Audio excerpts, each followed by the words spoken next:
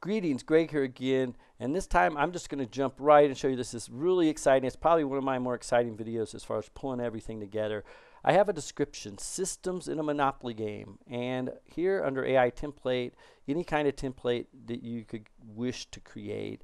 I'm going to say, let's start with a sequence diagram, and we'll hit regenerate the diagram. It's using the AI accelerator. I have a link uh, above to videos on it so you can see how it works and creates courses and projects and other things. It's already done and sent back the result. Now let's look at the, the result, the diagram here that it created.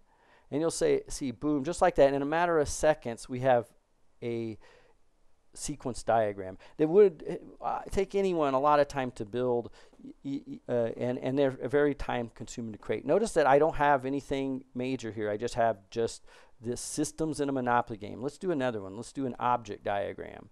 Now see, it's using these AI templates as part of my AI uh, accelerator so that it can generate this uh, these different diagrams. It gets the result from Odoo uh, or from OpenAI. we get a notification system, so it uses the, a job queue. Uh, so you can see when everything's done, you get a notification when it's done.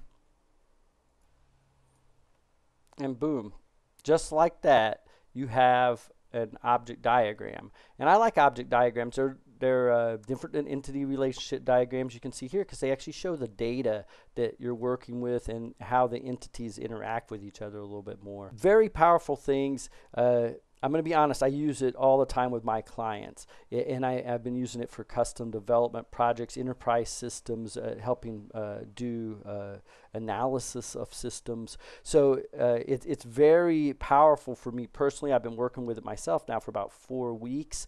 And now I'm making it available to everyone that's part of my Odoo class subscription, my enterprise uh, mastering uh, Odoo development mastermind series. So head over to odooclass.com if you're actually interested in getting the source code for this and be able to start using it yourself. I have a lot of things I'm building out there. The Odoo app suite now has lots of different applications in it, and I'm going to be creating more videos to try to cover that. But I've really just been building and creating and trying to add more content for my subscribers and the people that have been purchasing my courses. So this is a big one. This is something that everyone who's uh, purchased my mastering uh, Odoo Development Mastermind uh, edition can get this now uh, when they log in and anyone else. Uh, so many thanks for watching. I, I, really appreciate it. If you can, just please uh, click like. Please click subscribe if you've gotten this far. It really, really helps me a lot. And I'll see you in the next video.